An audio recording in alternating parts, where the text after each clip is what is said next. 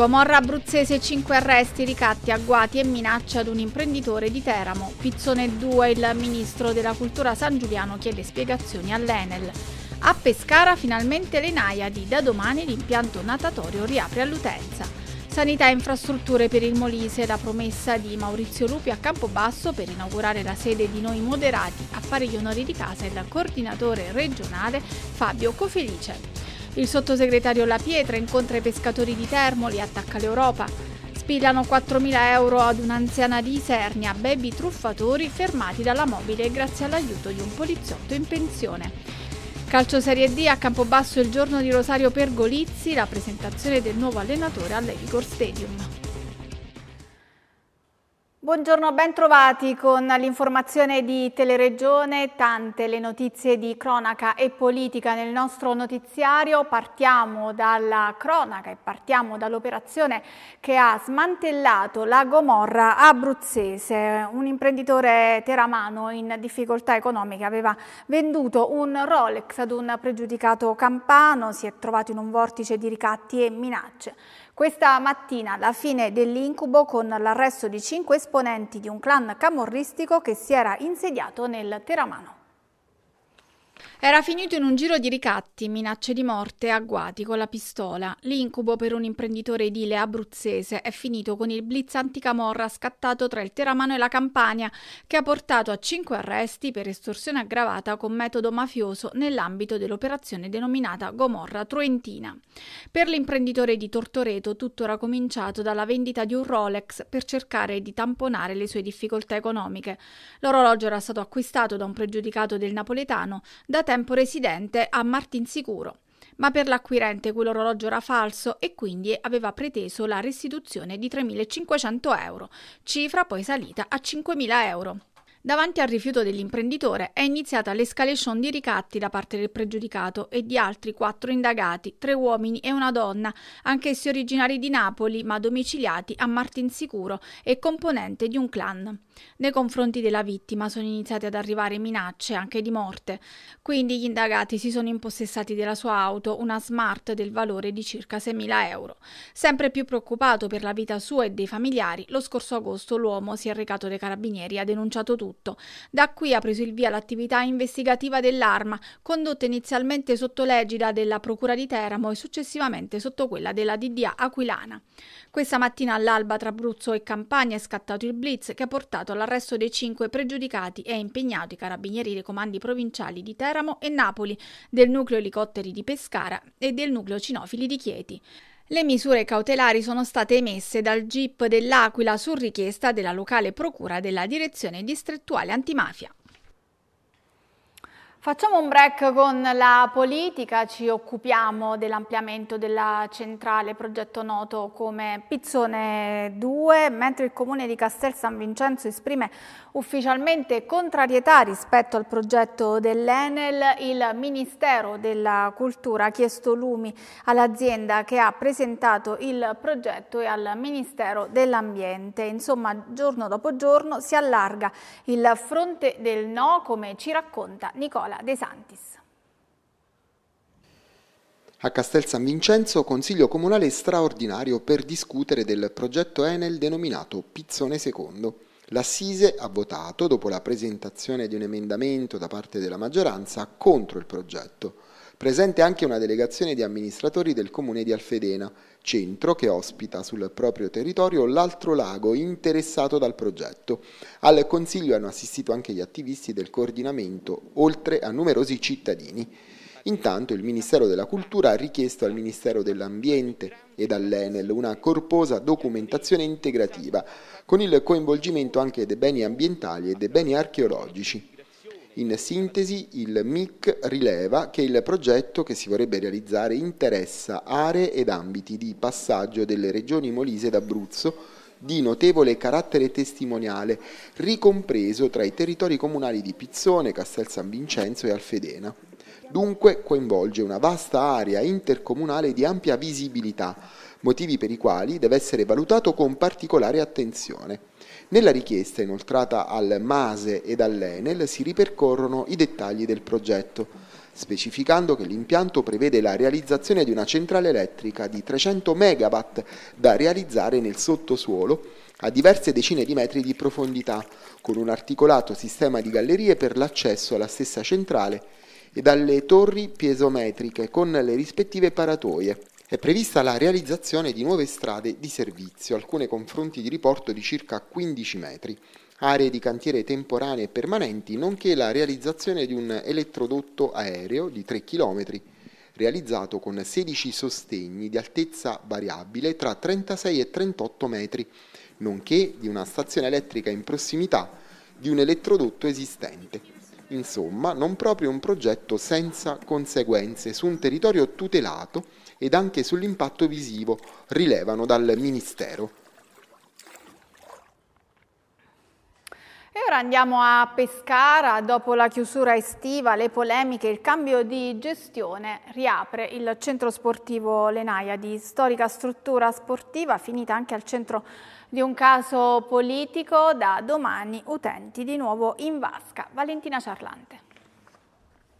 Inizia una nuova era per l'Enaia, lo storico impianto sportivo che in passato ha ospitato gare e allenamenti dei grandi campioni del nuoto e della pallanuoto, posto al confine tra Pescara e Montesilvano, finito negli ultimi mesi al centro degli scontri politici tra il centrodestra che guida la regione Abruzzo, che ha bandito e prorogato un avviso per riaprire lo stabile in tempi rapidi, e l'opposizione di centro-sinistra, che lamenta poca trasparenza nell'affidamento all'unica società che ha partecipato. La svolta è ciò che auspicano gli utenti ed è questo anche anche l'obiettivo di Riccardo Fustinoni, presidente del club acquatico, la società che da oggi gestirà per vent'anni la struttura, che si occupa già della piscina provinciale di Pescara e che si è impegnata a riassorbire tutta la forza lavoro, quindi una decina di dipendenti. Le Naiadi diventeranno un villaggio all'interno della città, ha spiegato, annunciando che ora tre piscine su cinque saranno fruibili, ma che nei prossimi mesi la vasca per la pallanuoto diventerà semi-olimpionica, passando da 8 a 17 corsie e da 21 a 25 5 metri di larghezza e ancora sono previsti lavori in un'altra vasca che ha problemi di infiltrazioni. Da domani quindi aperte le piscine e la sala fitness. Gli investimenti che abbiamo proposto nel bando di gara che mm, ci vede aggiudicatari e, mm, e che mm, ammontano a 3 milioni e 200 mila euro. Confidiamo insomma nei cittadini pescaresi che vogliono insieme a noi eh, come dire, partire con una stagione nuova. Questo grazie a 20 anni penso che sia possibile. Noi siamo dopo 4-5 mm, anni finalmente una gestione locale e pensiamo che possiamo dare tanto all'impianto e alla città di Pescara. All'incontro con i giornalisti indetto dal club acquatico il presidente del Consiglio regionale Lorenzo Sospiri e l'assessora comunale allo sport di Pescara Patrizia Martelli. Sospiri ha rispedito ancora una volta le accuse al mittente. Che l'unica cosa che conta è che le nadi sono aperte, che non c'erano più concorrenti in quella gara, diciamo così, c'era un solo concorrente in quella gara forse piuttosto che capillare bisognerebbe incoraggiare, sostenere, difendere ed aiutare. Non c'è alcuna emergenza farmacie in provincia di Pescara. La ASL ha provveduto nella giornata di ieri a liquidare le spettanze previste per il mese di luglio e stamattina quelle previste per il mese di agosto. Lo ha sottolineato l'assessore alla salute della regione Abruzzo, Nicoletta Verì, intervenendo sulla vicenda del ritardo nelle liquidazioni delle competenze alle farmacie territoriali da parte dell'ASL di Pescara che ha portato i farmacisti a paventare lo stato di agitazione. Ci sono stati problemi di natura burocratica, ha spiegato ancora l'assessore Verì, che sono stati affrontati in una riunione in assessorato con i vertici dell'ASL 3 e le organizzazioni di categoria. Questioni prontamente risolte che consentiranno ora il riallineamento delle scadenze. E ora ci spostiamo a Campobasso, spaccio di droga tra i minorenni, cresce l'allarme nel capoluogo molisano dove due giovanissimi sono stati denunciati dai carabinieri. Ci dice tutto Samantha Ciarla. Un fenomeno preoccupante è quello del consumo e dello spaccio di sostanze stupefacenti tra i giovanissimi che tocca anche il capoluogo molisano. Due minorenni sono stati denunciati dai carabinieri perché trovati in possesso di droga e banconote false. Alla vista delle forze dell'ordine in via Gramsci, i due ragazzi hanno cercato di allontanarsi velocemente, comportamento che ha insospettito i militari. Da qui la perquisizione da parte dell'equipaggio del nucleo operativo e radiomobile che non ha lasciato spazio a dubbi. Uno dei dei due giovani nascondeva all'interno di un vasetto di vetro 13 dosi di hashish per un totale di 5,45 grammi e 6 banconote false da 10 euro. Il secondo ragazzo custodiva 1,37 grammi della medesima sostanza stupefacente in un marsupio racchiusa in un cofanetto di plastica. La droga è stata immediatamente sequestrata ed inviata all'AS di Foggia per le analisi qualitative. Parallelamente le banconote sospette sono state trasmesse alla locale filiale della Banca d'Italia per ulteriori verifiche. Gli episodi sempre più frequenti di detenzione e spaccio tra i più giovani stanno alimentando un crescente allarme a Campobasso. La presenza di banconote false, precisano le forze dell'ordine, aggiunge un ulteriore livello di preoccupazione, portando all'attenzione le molteplici sfaccettature dell'illegalità minorile. Seminterrato utilizzato per coltivare marijuana. A scoprirlo i carabinieri che hanno arrestato un 43enne a San Giovanni Teatino in provincia di Chieti. Erano stati residenti a chiedere l'intervento dell'arma sentendo il forte odore proveniente dal seminterrato. Qui gli uomini dell'arma hanno trovato 85 piante di marijuana alte circa 1,20 m e 2 kg di inflorescenze già essiccate pronte per lo spazio spaccio. Ulteriori accertamenti hanno permesso di ritrovare a casa del 43enne altri 60 grammi di inflorescenze di marijuana già essiccate e un bilancino di precisione. Il 43enne è stato arrestato mentre è stato denunciato il proprietario del seminterrato in cui sono state trovate le piante di marijuana. E un poliziotto in pensione ha consentito alla squadra mobile di Isernia di fermare due ragazzini provenienti entrambi dalla provincia di Napoli che avevano truffato un'anziana signora spillandole 4.000 euro. Nicola Di Santis. In provincia di Isernia continuano i tentativi di truffa ai danni di persone anziane, spesso sole e malate. Stavolta però i truffatori sono stati fermati dalla squadra mobile grazie alla segnalazione di un poliziotto in pensione. L'ex agente si è rivolto alla centrale operativa di via Palatucci segnalando che due soggetti stavano adescando una sua anziana vicina di casa. Immediatamente la squadra mobile ha raggiunto il luogo della segnalazione ed è riuscita a fermare un ragazzino di 16 anni, residente in provincia di Napoli, che si è presentato a casa della signora affermando di essere un corriere venuto a riscuotere il pagamento di un computer ordinato dal nipote. La vittima era stata contattata sul telefono di casa da una persona che si era spacciata per suo nipote e che aveva affermato di trovarsi all'ufficio postale, in quanto il PC che aveva ordinato non era ancora stato consegnato, trovandosi in giacenza in filiale. Per la consegna avrebbe dovuto versare 4.000 euro al corriere, che sarebbe giunto di lì a breve presso l'abitazione della signora. Il truffatore è stato denunciato per sostituzione di persona e truffa aggravata. Il complice, appena maggiorenne, anch'egli originario della provincia di Napoli, che si era dato alla fuga a bordo di un'auto presa a noleggio, è stato successivamente identificato grazie agli indizi raccolti in paese. Dovrà rispondere degli stessi reati. Non siete soli, chiamateci sempre. L'appello del questore Macri. Per prevenire le truffe agli anziani è fondamentale che si consolidi il rapporto di fiducia tra i cittadini e le istituzioni. Non esitate dunque a rivolgervi alla Polizia di Stato per segnalare situazioni di pericolo o episodi sospetti. Ha concluso il vertice della Questura Pentra. E ora ci spostiamo a Termoli. Questa mattina c'è stata la visita del sottosegretario all'agricoltura Patrizio Giacomo La Pietra che ha incontrato i pescatori nella sala consigliare del comune di Termoli e ha attaccato l'Europa. Ormai siamo allo stremo, non ce la facciamo più, il gasolio è arrivato alle stelle di nuovo, eh, i controlli sono esasperanti. Abbiamo adesso anche quest'altra spada di Damocle che riguarda le telecamere a bordo sopra i natanti.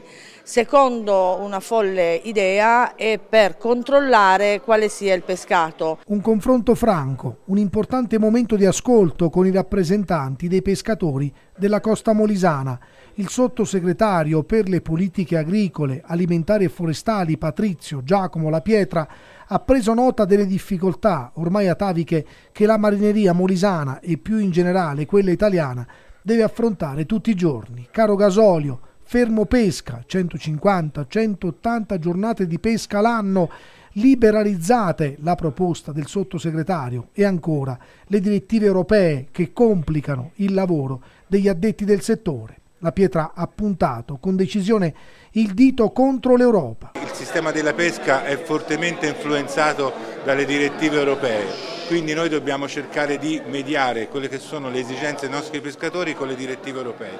È vero che questo governo vuole valorizzare questo settore e ci stiamo opponendo in maniera decisa anche a certe decisioni ideologiche dell'Europa. Penso per esempio al divieto della pesca a strascico, quindi noi siamo contrari, siamo l'unico paese che abbiamo votato contro. Stiamo lavorando per cercare di sistemare tante normative che impediscono ai nostri pescatori di, di lavorare in maniera se non altro alla pari di tutte le altre marinerie europee. All'incontro presenti anche il presidente della regione Francesco Roberti che ha sollevato le dinamiche dei pescatori di vongole, l'assessore Salvatore Micone e l'onorevole Elisabetta Lancellotto. Stiamo completando quelle che sono le misure del vecchio programma del FEAMP e quindi ci accingiamo ad aprire il nuovo, il nuovo programma. Quindi per fare questo è giusto che le azioni vengano condivise con gli addetti ai lavori sì, il grande sostegno da parte della delegazione parlamentare di Fratelli d'Italia al mondo dei pescatori. Oggi siamo qui a Termoli per confrontarci insieme al sottosegretario La Pietra, quindi grande attenzione anche da parte del governo, presenza costante sul nostro territorio, con le associazioni dei pescatori. Sanità con la riduzione delle liste d'attesa e infrastrutture, le priorità per il Molise su cui il governo Meloni è al lavoro. Così il leader di Noi Moderati, Maurizio Lupi, a Campobasso per inaugurare la sede del partito, i particolari nel servizio curato ancora da Samantha Ciarla. Taglio del nastro alla presenza del leader di Noi Moderati Maurizio Lupi che ha inaugurato a Campobasso la sede di Noi Moderati in Viale Elena 11. Beh, innanzitutto per dire un grazie, un grazie ai molisani che hanno dato un uh, ottimo risultato alla lista Noi Moderati alle scorse elezioni regionali, più del 7,5%. E poi per ribadire che eh, la nascita appunto del uh, gruppo consigliare dei Noi Moderati, la nomina del eh, consigliere Cofelice a coordinatore regionale di Noi Moderati, è un segno del contributo che eh, la nostra proposta politica vuole dare al centrodestra, ma innanzitutto anche a questa regione. I temi caldi attenzionati dal governo Meloni sono tanti in Molise, in primis la sanità con la riduzione delle liste di attesa, ma anche la viabilità, puntualizza Lupi. I problemi sono tanti, innanzitutto la sanità, ne abbiamo discusso anche mercoledì sera con la Presidente Meloni, la prossima legge di bilancio vedrà per forza di cose anche un contributo alla Regione Molise sul tema sanitario, abbiamo da ridurre le liste d'attesa in tutta Italia e le infrastrutture, venire qui è un'avventura.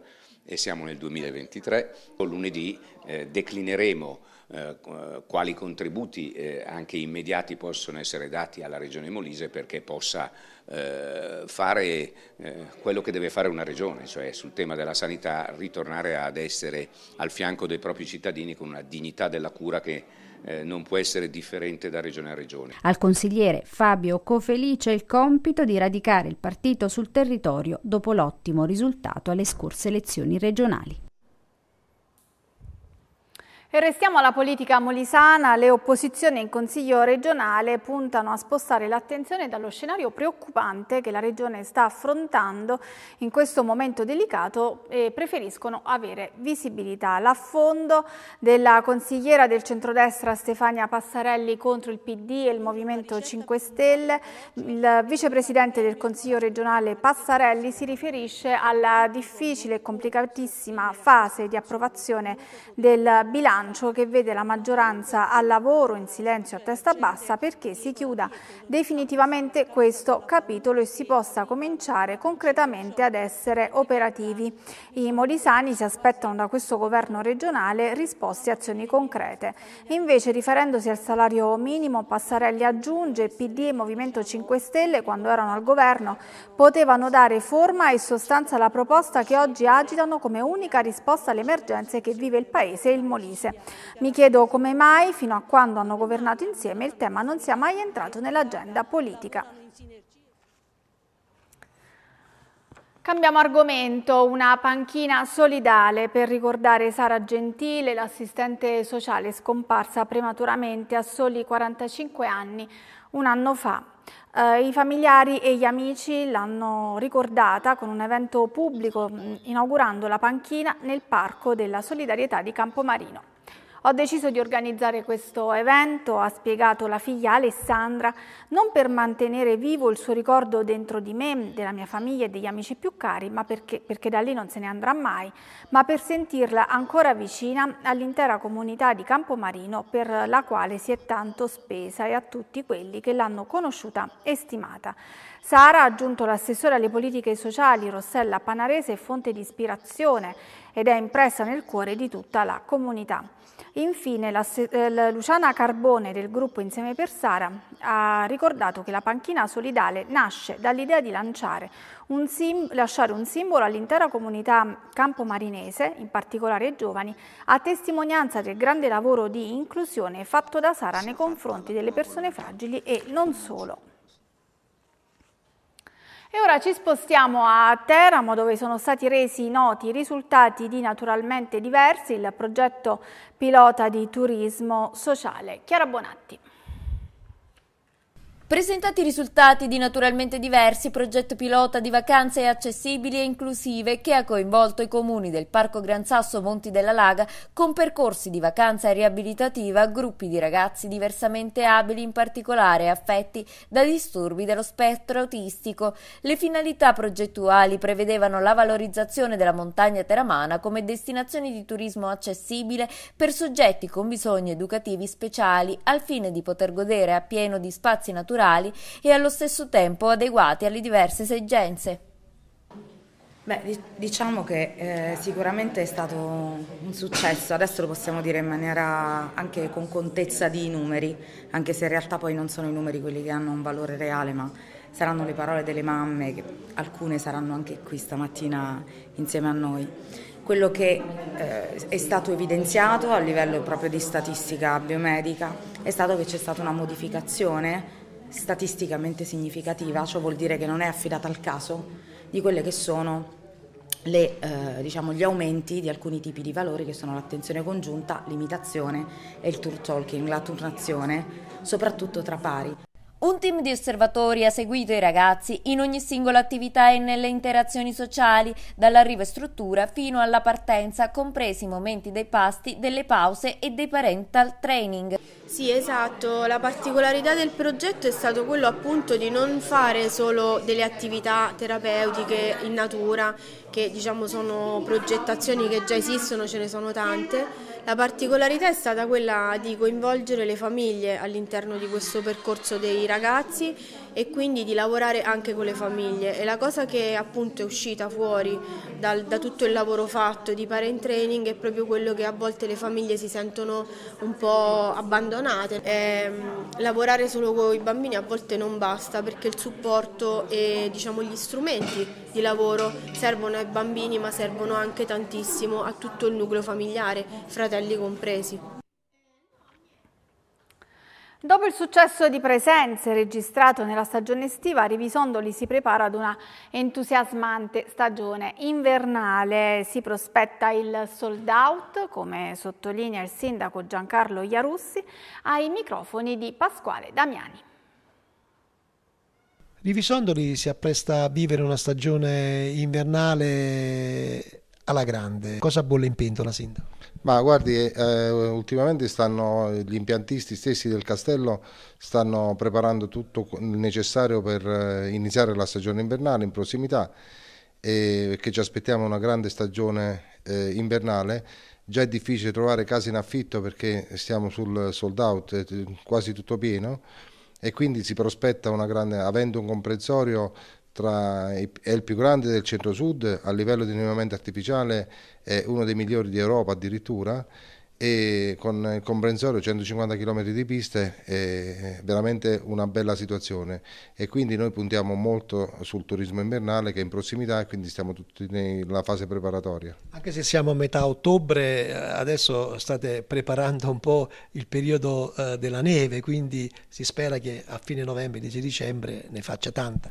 Eh, noi l'augurio nostro è proprio quello di avere la neve a fine novembre per iniziare la stagione eh, il, alla grande perché il, proprio il periodo migliore è proprio quello di novembre, dopo le giornate sono corte, quindi se fa la neve resta per tutta la stagione invernale, quindi è quella la nostra, nostro, la nostra speranza. Se tutto dovesse filar liscio, quindi per l'8 dicembre, il giorno dell'Immacolata, si apriranno gli impianti? Se ma, magari se, basterebbero anche le temperature basse, perché con l'innevamento artificiale che c'è, noi ci auguriamo sempre della neve, però comunque c'è l'alternativa dell'innevamento artificiale che si sta ampliando e sviluppando sempre di più, quindi l'Immacolata sarebbe proprio il top dell'inizio della stagione invernale.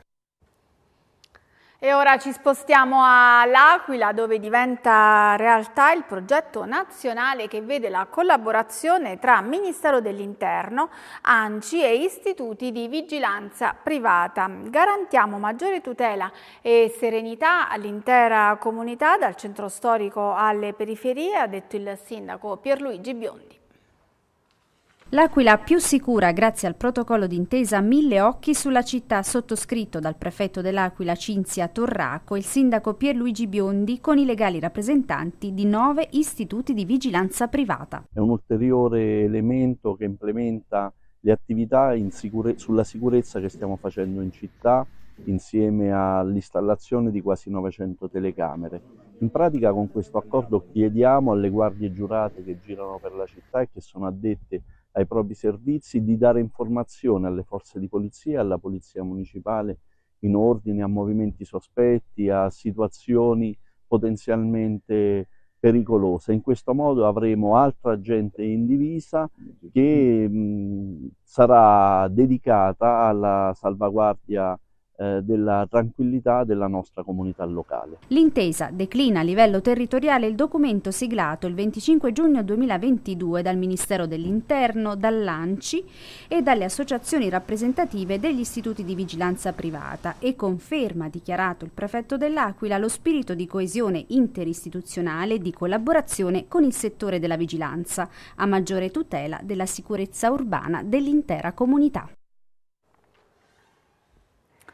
L'azienda Europea 92 SPA è alla ricerca di personale, eh, queste le figure richieste, escavatoristi con esperienza di almeno 5 anni, sondatori di piccolo diametro, sondatori di grande diametro, geometri con esperienza di almeno 10 anni e capi in bocco. Se si è interessati si può contattare il numero 0865 491834 oppure inviare una mail a deposito 1 chiocciola europea 92 spa.it tornare ad esporre le bandiere per la pace ai balconi è l'iniziativa lanciata dall'Università delle Generazioni che sollecita a prendere piena coscienza del tragico evento della guerra in corso in Medio Oriente, pure perché tale lutto riguarda tutti noi, si legge in una nota.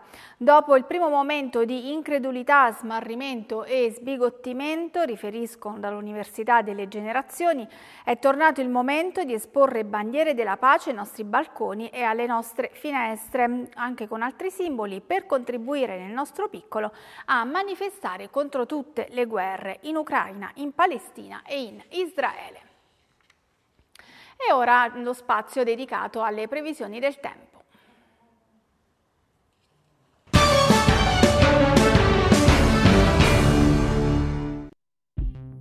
Previsioni del tempo di sabato 14 ottobre. In Abruzzo tempo stabile ed assolato ovunque, venti deboli e mare poco mosso. Queste le temperature. L'Aquila minima 9, massima 25 gradi. Pescara 15-30, Chieti 18-30, Teramo 13-31 gradi. Bel tempo anche sul Molise con cieli in prevalenza sereni o poco nuvolosi per l'intera giornata. Venti deboli e mare poco mosso. Campobasso minima 13, massima 27 gradi. Isernia 13-24 4, Termoli 17-30, Venafro 14-26 gradi. E con le previsioni del tempo si conclude questa prima parte del nostro telegiornale. Io vi ringrazio per averci scelto e vi ricordo che per tutti gli aggiornamenti potete seguire i nostri social. Non cambiate canale perché dopo un po' di pubblicità ci sarà lo sport. A tra poco.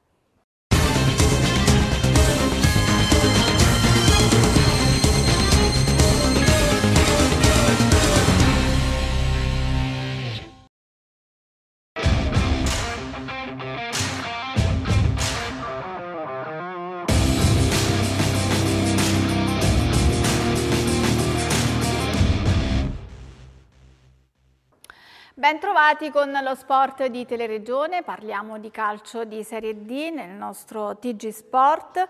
È in programma la sesta giornata nel campionato con un anticipo che si giocherà domani alle 15.30. La gara è Real Monterotondo Vasto Girardi. Invece le altre due molisane, Campobasso e Termoli, scenderanno in campo domenica 15 alle 15. Il Campobasso giocherà contro la Vigor Senigallia, invece il Termoli riceve in casa il Sora.